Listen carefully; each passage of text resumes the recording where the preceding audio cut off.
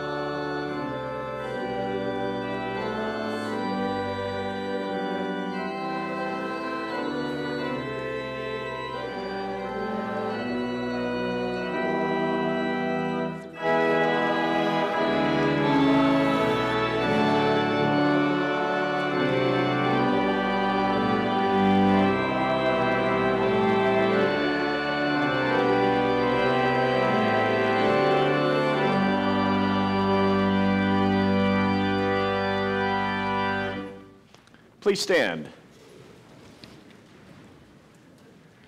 In the name of the Father, and of the Son, and of the Holy Spirit. Amen. If we claim to be without sin, we deceive ourselves, and the truth is not in us. If we confess our sins, God is faithful and just, and will forgive us our sins and purify us from all unrighteousness. Let us confess our sins to the Lord. Holy God, gracious Father, I am sinful by nature and have sinned against you in my thoughts, words, and actions. I have not loved you with my whole heart. I have not loved others as I should. I deserve your punishment both now and forever. But Jesus, my Savior, paid for my sins with his innocent suffering and death. Trusting in him, I pray, God have mercy on me, a sinner.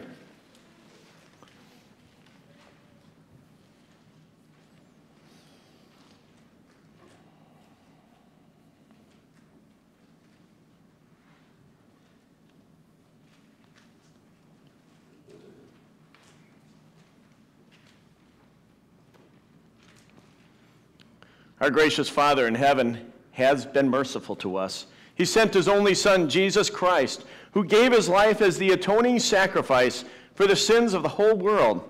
Therefore, as a called servant of Christ and by his authority, I forgive you all your sins in the name of the Father, and of the Son, and of the Holy Spirit. Amen. In peace, let us pray to the Lord.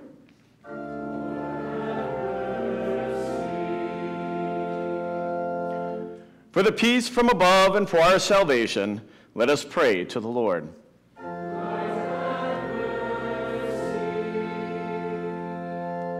For the peace of the whole world, for the well being of the Church of God, and for the unity of all, let us pray to the Lord.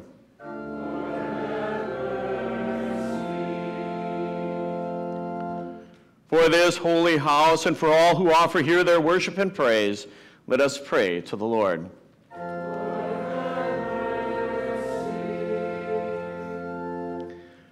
Help, save, comfort, and defend us, gracious Lord.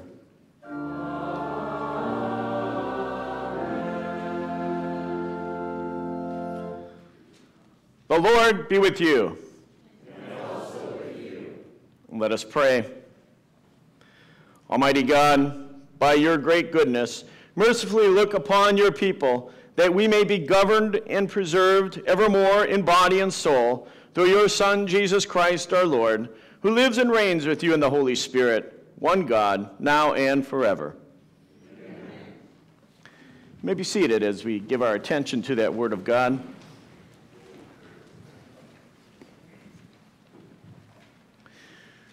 God's Word is found for us in the words, the inspired Word of God in Isaiah 43, reminding us of God's great goodness and His earnest desire to feed us, to save us, and to always be with us. This is what the Lord says He who made a way through the sea, a path through the mighty waters, who drew out the chariots and horses, the army and the reinforcements together, and they lay there, never to rise again, extinguished, snuffed out like a wick. Forget the former things. Do not dwell on the past. See, I am doing a new thing. Now it springs up. Do you not perceive it? I am making a way in the wilderness and streams in the wasteland.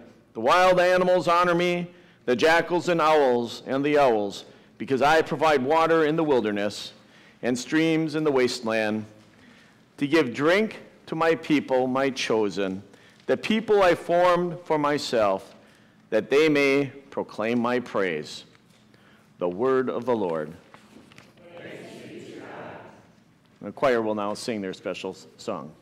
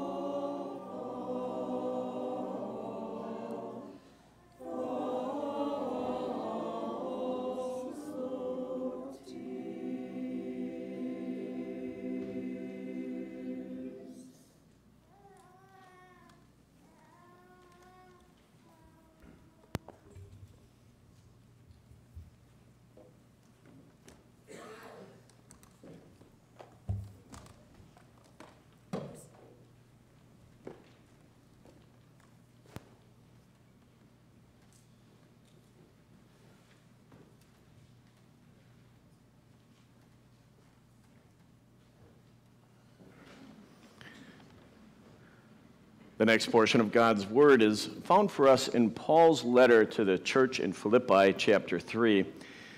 And these words are perhaps some of the, the most precious words, elevating not only the righteousness of Christ, but the importance of Christ in our lives. More important than life itself, more important than anything that you have, anything besides Christ, as he will say here, is really garbage. If someone else thinks they have reason to put confidence in the flesh, I have more. Circumcised on the eighth day of the people of Israel, of the tribe of Benjamin, a Hebrew of Hebrews, in regard to the law of Pharisee, as for zeal, persecuting the church, as for righteousness, based on the law, faultless. But whatever were gains to me, I now consider loss for the sake of Christ. What is more, I consider everything a loss because of the surpassing worth of knowing Christ Jesus my Lord, for whose sake I have lost all things.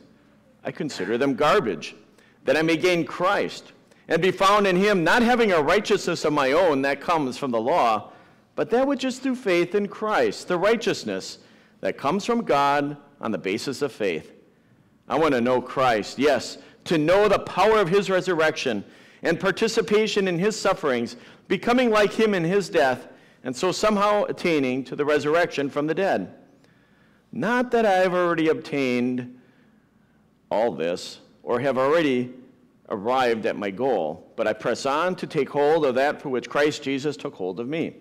Brothers and sisters, I do not consider myself yet to have taken hold of it, but one thing I do Forgetting what is behind and straining toward what is ahead, I press on toward the goal to win the prize for which God has called me heavenward in Christ Jesus. The word of the Lord. We sing now the hymn of the day, O God, O Lord of heaven and earth.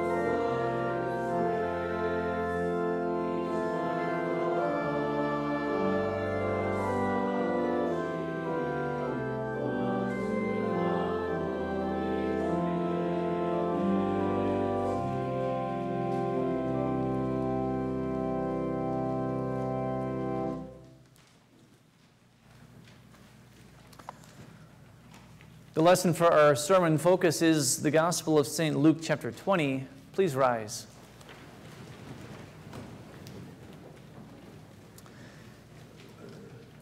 He, that is Jesus, went on to tell, this par- to tell the parable. The, I'm sorry. Jesus went on to tell the people this parable. A man planted a vineyard, rented it to some farmers, and went away for a long time. At harvest time, he sent a servant to the tenants so they would give him some of the fruit of the vineyard. But the tenants beat him and sent him away empty handed. He sent another servant, but that one also they beat and treated shamefully and sent away empty handed. He sent still a third, and they wounded him and threw him out. Then the owner of the vineyard said, What shall I do? I will send my son, whom I love. Perhaps they will respect him. But when the tenants saw him, they talked the matter over. This is the heir, they said. Let's kill him, and the inheritance will be ours. So they threw him out of the vineyard and killed him. What then will the owner of the vineyard do to them? He will come and kill those tenants and give the vineyard to others. When the people heard this, they said, God forbid.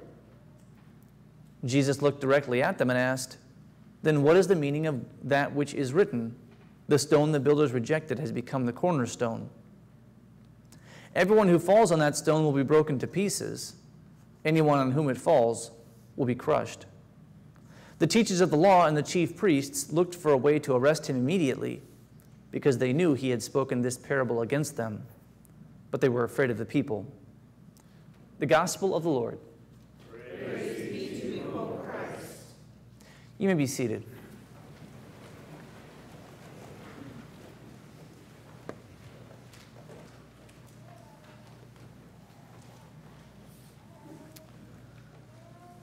Dear Christian friends, the context of this parable is important. Jesus was proclaiming the good news to people there in those temple courts. And it's also worthy of note the time this happened. It was the Tuesday before Passover, and there were people who had come in from countries all around, particularly to Jerusalem and particularly to that temple. Jesus saw this as a great opportunity to preach forgiveness to those who needed to hear it. At the same time, there were the religious leaders, the elders, the chief priests, the teachers of the law. And they came up to Jesus and they questioned his authority and, and why he thought he was able to teach in this way. As part of his response, Jesus gave them two pictures. One, a parable of a vineyard and a landowner, and the other, the picture of a stone which was rejected that became a cornerstone. Both of these two pictures tell us of God's patient love. So let's consider that first picture, the parable of the vineyard. In this parable, there was a landlord who had worked out a deal with some tenants. They were renters on his property. And the deal was that they could live and work at his vineyard, and they would take a, a fair share of the crops themselves. Meanwhile, the landowner would then take a portion for himself when the harvest came. Now, vineyards were very common in Jesus' day. In fact, it was probably most, if not everyone, knew where they could find a vineyard. And some of these people might have even worked a vineyard at one point or another in their lives. This kind of a, a deal, uh, a land contract, was very common in Jesus' day. And the landlord was being very fair. But after they had worked out their deal and the landlord went away, the harvest did come and that landlord returned. He sent a servant in his place to collect some of that crop, but they wouldn't hand it over. Those tenants wouldn't pay their due.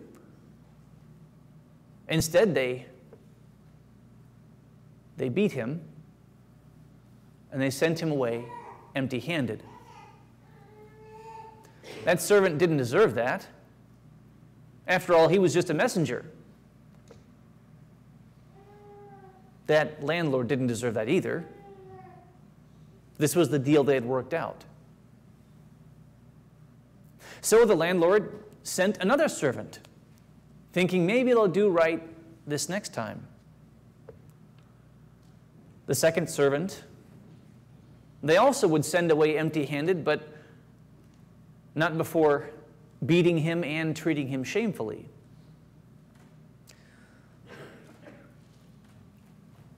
So then the landlord was still patient.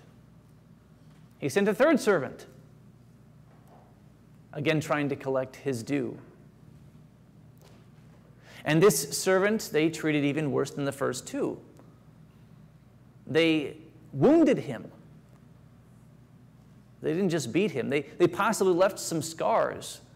And they didn't just send him away, they threw him out. And you can picture the force behind this as they're throwing him out. And then again, they sent him away empty handed. It wasn't fair. But why did that landlord go through these lengths already? Why didn't he just call in those soldiers to enforce the law? After all, he, he had every right in his contract to demand that portion of the crop. And now they had broken these other laws in the way they had mistreated his servants. Why would the landlord continue to put up with all this? I mean, somebody might think, fool me once, shame on you, fool me twice, shame on me, but you're not going to fool me that third time. Yet with this landlord, he had already been fooled, so to speak, three times. And now he was even considering a fourth. This fourth time, he was considering sending his son, the heir, the firstborn, his beloved son, And why would he send his son into a situation like that? Why would he send him in knowing the way that things had already gone and how they were only getting worse? Why would he risk his son in that way? Why would he be so slow to execute justice? A much better question to ask is why would God deal with us the same way? Why would God be so slow to send his justice? Why would he be so slow to punish us for our sins? Because when we hear God's word, we don't always hear it gladly. There are times when we do hear that word of God, we, we, we listen, we understand, we hear it, but we don't really like what's being said. Our sinful nature kicks against it. We don't want to hear what God has to say. There are those times that we certainly push off God's word. We don't take those opportunities, even though we've got the time and the schedule for it. We don't sit down for devotion with the family. We don't take time for Bible study. We, we miss church, even though we might have well been here. We don't take those chances because we don't value that word rightly. And what about those times when we don't even need to read the scriptures because we already know in our hearts what the right thing is to do. We don't need any extra clarification or understanding. We already know what God wants. We just choose not to. We just don't want to.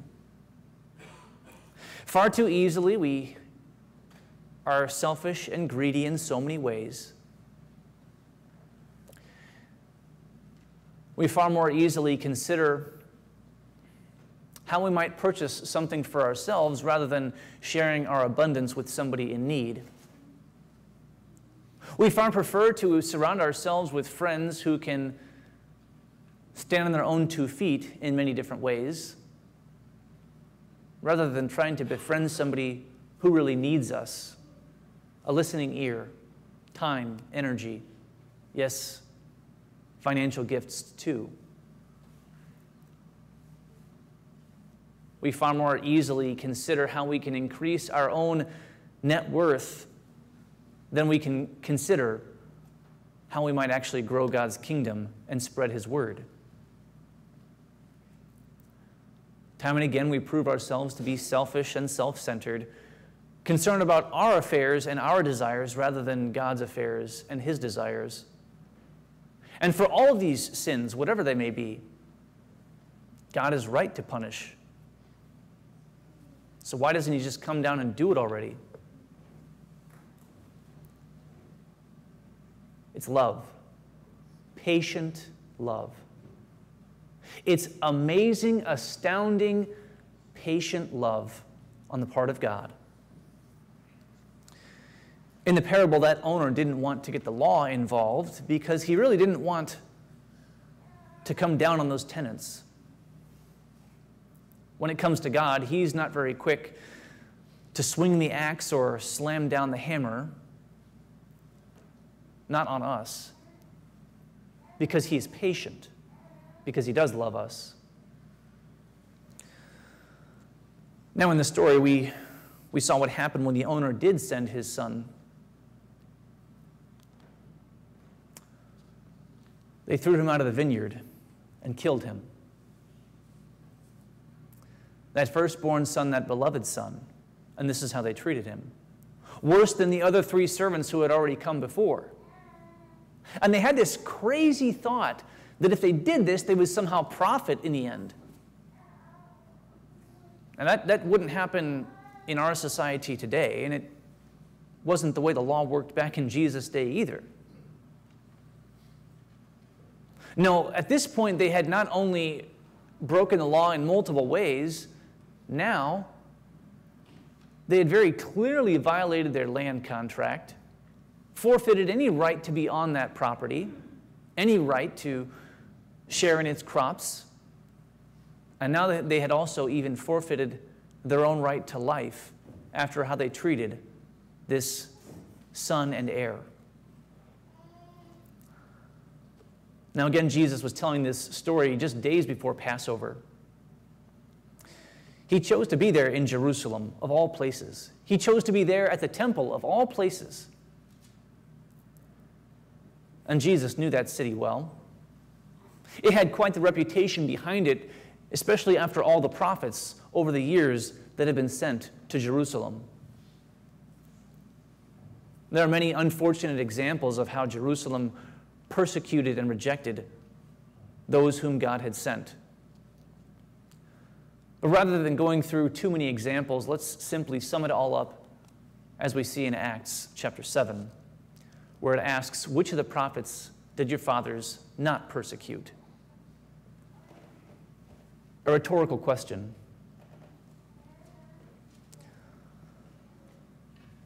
God didn't have to be kind to us and patient like that.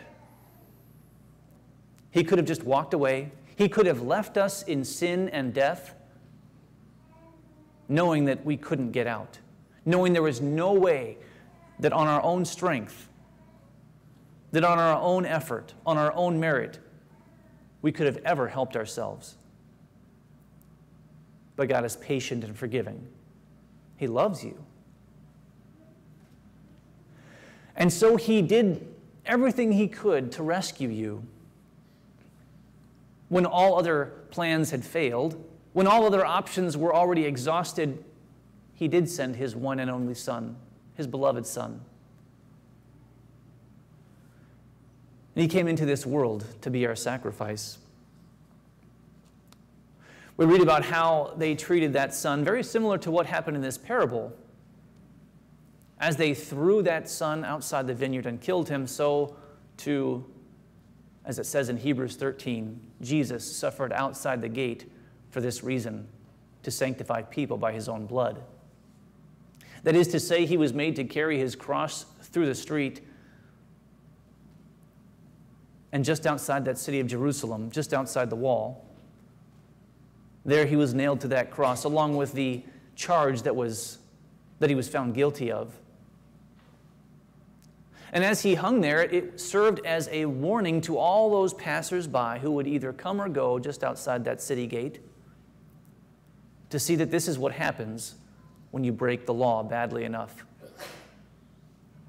Don't be like him, it warned. Jesus specifically brings up the way that he would be rejected, as he quoted then Psalm 118. He says, The stone that the builders rejected has become the cornerstone. There's a picture here of, again, God's patient love, in that even, even those builders who were going to reject their Savior, God still showed them patience. Again, it was days before Passover, days before Jesus will be crucified. And he knew what was coming. In the, the picture here, we can think about this building that is being built. We can picture a, a pile of stones that had been delivered so that they could set it up into a building, into a wall, a stone wall. And somewhat in the fashion that you might put together a jigsaw puzzle, they would piece together a wall as tightly fitted as possible so that it would be nice and strong and straight. But as they picked up that next stone and looked at it and examined it, they looked it over and it didn't seem to be like the rest. It had a different kind of a shape and quality to it. And so those builders thought, well, what am I going to do with this? It doesn't seem to fit along with the rest of these stones in the wall. So they chucked it to the side. They reserved it for the dump heap, ready to be hauled away. The problem was this was the grave mistake. While they did accurately estimate that this stone was different, they didn't realize it was different because it was so special, so unique, so priceless and valuable. It was different because it was in a class all on its own, not meant to be just an ordinary stone along with the rest of the stones in that wall, but rather because it was meant for a different purpose to be the cornerstone of the whole building. That stone upon which the entire building would line up and stand. And this is a picture for Christ. We know how the religious leaders looked at Jesus when he came. He wasn't the kind of Savior they thought he was going to be, he wasn't the man they were looking for. They didn't understand who the Messiah would truly be. And so when they looked at Jesus, they even accused him of sin. They accused him that he was breaking the Sabbath law.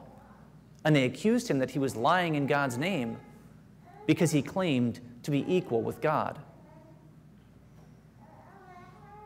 And so it was that when they were there at the temple offering their regular sacrifices for so many years, that when the sacrifice that was sent by God, that Lamb of God, actually entered into those temple courts, they didn't recognize that sacrifice. When the sacrifice to literally end all sacrificing had come, they planned to kill him. And though they had spent so many years studying God's Word, listening to that Word of God,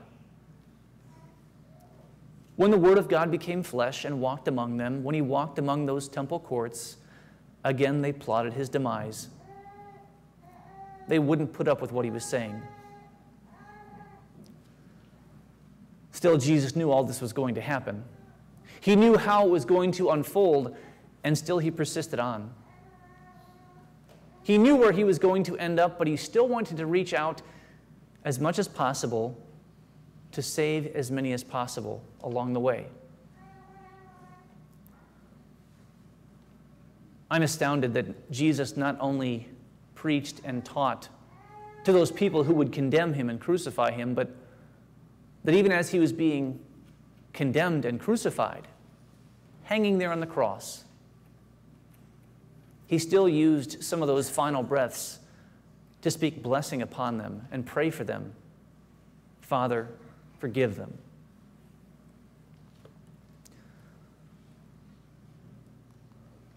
All this happened. And it says that that very hour, the teachers of the law and the chief priests looked for a way to arrest him.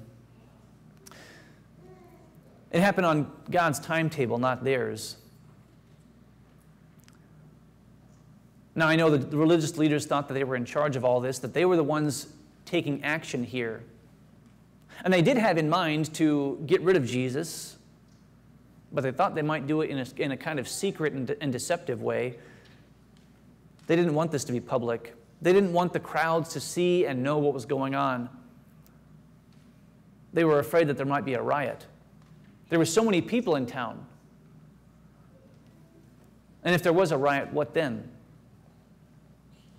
Not only might there be people who were hurt along the way, but also Pontius Pilate might have stepped in and shut the city down under a curfew and said, Your festival is over.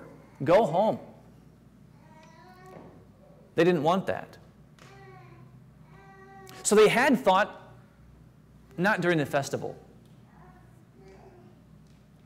Still, this was God's timetable. God was using these events to bring about the salvation that He had planned. And He made sure that Jesus not only died that particular Passover, but that He would fulfill it once and for all. And in this great sacrifice, we see God's grace to us, His love for us. We see His great patience with us as He continually invites us to come back to Him in Christ's name and to lay down our burdens, our guilt, our sins, to confess it all and lay it all down there at the cross where Christ freely forgives.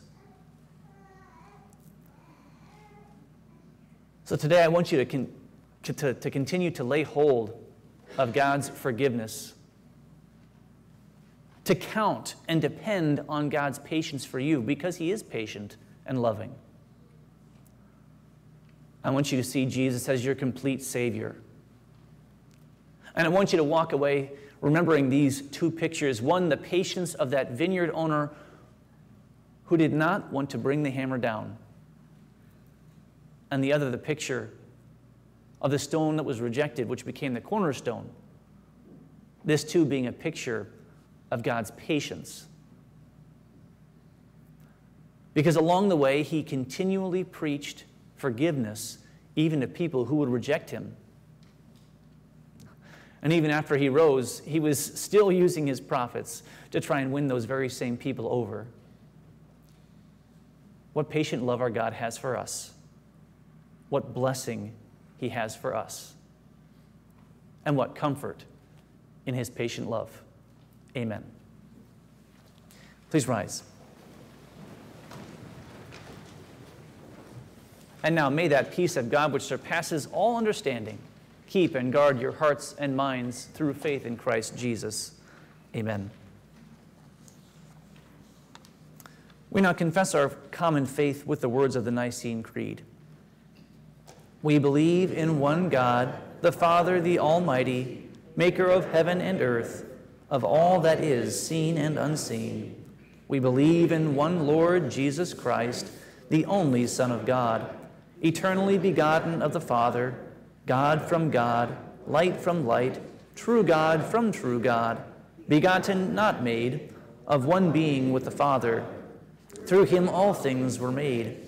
For us and for our salvation, he came down from heaven, was incarnate of the Holy Spirit and the Virgin Mary, and became truly human. For our sake, he was crucified under Pontius Pilate he suffered death and was buried. On the third day, he rose again in accordance with the Scriptures. He ascended into heaven and is seated at the right hand of the Father. He will come again in glory to judge the living and the dead, and his kingdom will have no end. We believe in the Holy Spirit, the Lord, the giver of life, who proceeds from the Father and the Son, who in unity with the Father and the Son is worshiped and glorified, who has spoken through the prophets. We believe in one holy Christian and apostolic church. We acknowledge one baptism for the forgiveness of sins.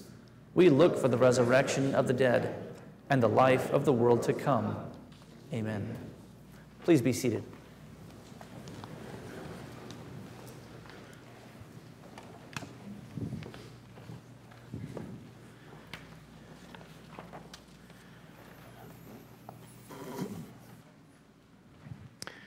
We continue with the prayer of the church. Before we use the prayer that is uh, on a screen and in your service folder, we'll offer a prayer of intercession for all who mourn the passing of Pastor Godfrey, who this past Tuesday uh, went to his heavenly home. O Lord Jesus, head of the church and chief shepherd of your flock, it has pleased you to call Pastor Godfrey from this earthly life to heavenly glory. While we mourn his death, we rejoice in the eternal victory he now shares with you. We thank you for the blessings you bestowed on your servant, Pastor Godfrey, for bringing him to faith, for preserving him in faith, and for giving him the joy of publicly proclaiming your word and administering your sacraments. You have kept him faithful to your word and made him a blessing to us and to many others. Grant a special measure of comfort to his family as they mourn his loss, and give healing to their sorrowing hearts through the precious assurance of your word, may the death of this pastor remind us all of the frailty of life, and may your Holy Spirit ever keep before us the goal of everlasting life. Hear us and comfort us for Jesus' sake. Amen. We further pray, gracious Lord, we fall before you with great awe and wonder that you willingly gave up your Son as our rescuer and Savior you so love the world with this blessing of your special care and concern for our eternal well being. Open our eyes.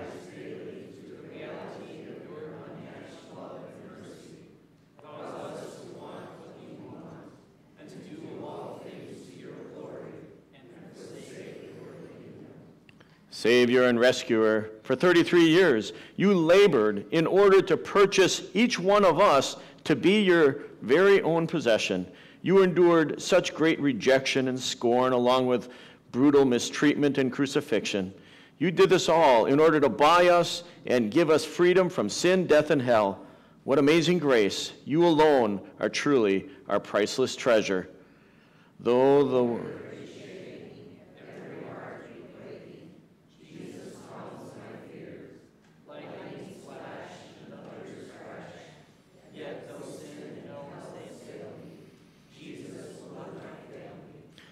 Blessed Holy Spirit, keep us firm in your word and also firmly holding on to Jesus as the cornerstone of our lives. By your sacrament of Holy Communion, bless all participants with a firmer grasp of your grace and mercy that ultimately wells up to eternal life in heaven. My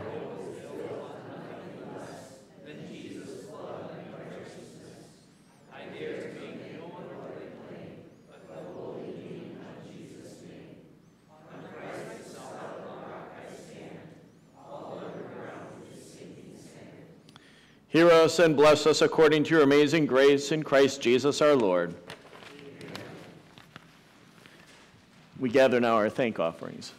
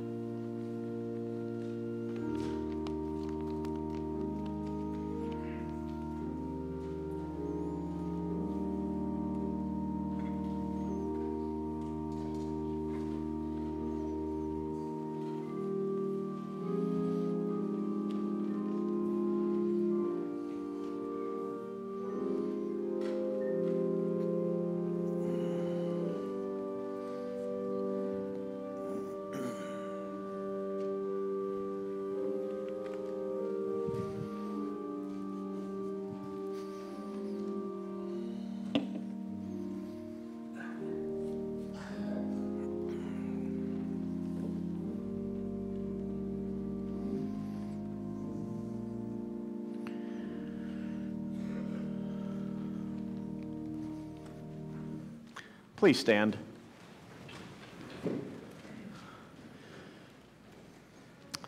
The Lord be with you.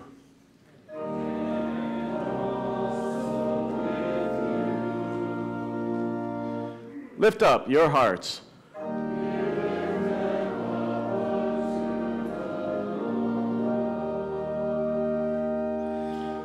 Let us give thanks to the Lord our God.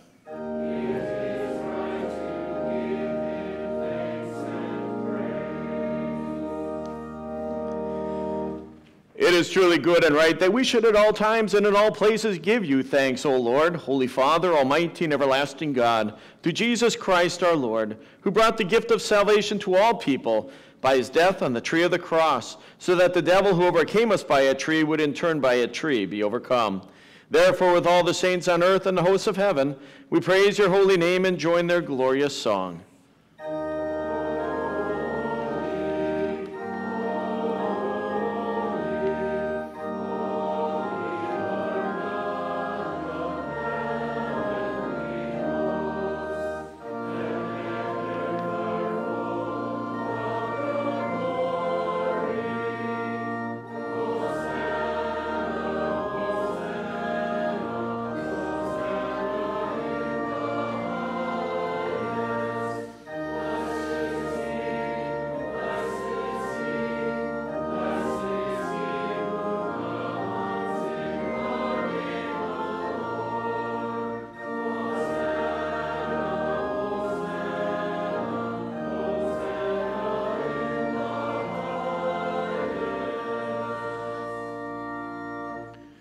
We give thanks to you, O God, through your dear Son, Jesus Christ, whom you sent to be our Savior, our Redeemer, and the messenger of your grace. Through him you made all things. In him you are well pleased. He is the incarnate Word, conceived by the Holy Spirit and born of the Virgin Mary. To fulfill your promises, he stretched out his hands on the cross and released from eternal death all who believe in him. As we remember Jesus' death and resurrection, we thank you that you have gathered us together to receive your Son's body and blood. Send us your Spirit, unite us as one, and strengthen our faith so that we may praise you in your Son, Jesus Christ. Through him, we glorify and honor you, O God our Father, and the Holy Spirit, one God, now and forever. Amen. And we pray together his prayer Our Father, who art in heaven, hallowed be thy name. Thy kingdom come, thy will be done, on earth as it is in heaven. Give us this day our daily bread, and forgive us our trespasses, as we forgive those who trespass against us. And lead us not into temptation, but deliver us from evil. For thine is the kingdom, and the power, and the glory, forever and ever. Amen. Our Lord Jesus Christ, on the same night he was betrayed, took bread, and when he had given thanks, he broke it, and he gave it to his disciples, saying, Take and eat, this is my body, which is given for you. Do this in remembrance of me. And then also, in the same way, he took the cup, gave thanks, and gave it to his disciples, saying, Drink from it, all of you. This is my blood of the new covenant, which is poured out for you for the forgiveness of sins. Do this whenever you drink it in remembrance of me. The peace of the Lord be with you always.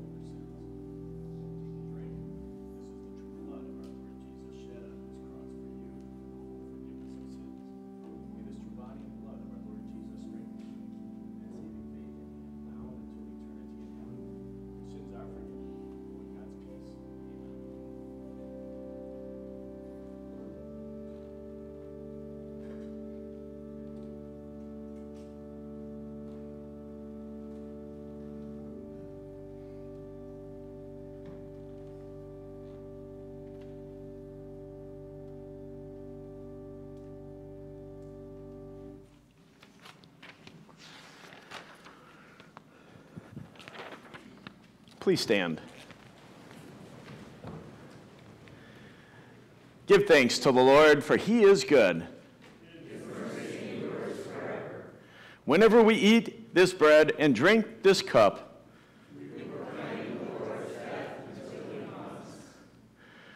we give thanks, Almighty God, that you have refreshed us with this saving gift. We pray that through it you will strengthen our faith in you and increase our love for one another. We ask this in the name of Jesus Christ our Lord, who lives and reigns with you in the Holy Spirit, one God, now and forever. With believing hearts, receive God's blessing. The Lord bless you and keep you. The Lord make his face shine on you and be gracious to you. The Lord look on you with his favor and give you peace. Amen. You may be seated as we sing the closing hymn, My Hope is Built on Nothing Less.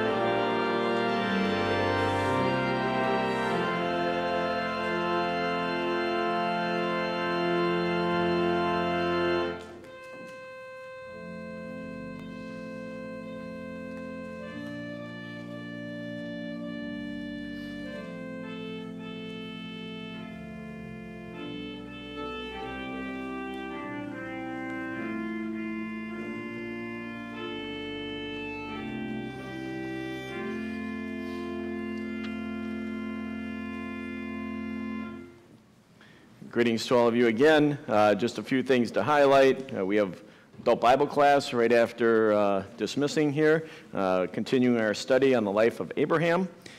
And uh, tonight, there is a sacred concert uh, of Illinois Lutheran Schools, and that is at Trinity, just down the road. And Wednesday is our last midweek Lenten service. Uh, We have one at 3:30 and another at 7 o'clock, uh, with a meal being served in between, hosted by the Women's Bible Study. And, oh, one, one important thing. Uh, uh, John Godfrey did call, I did talk to him on Friday as far as what the arrangements are for a funeral or memorial service for Pastor Godfrey. And he told me that it would not happen until the later part of June. That's when all the kids and family could get together. So that's so that you know, and when those specifics are available, I'll share those with you as well. Have a blessed day.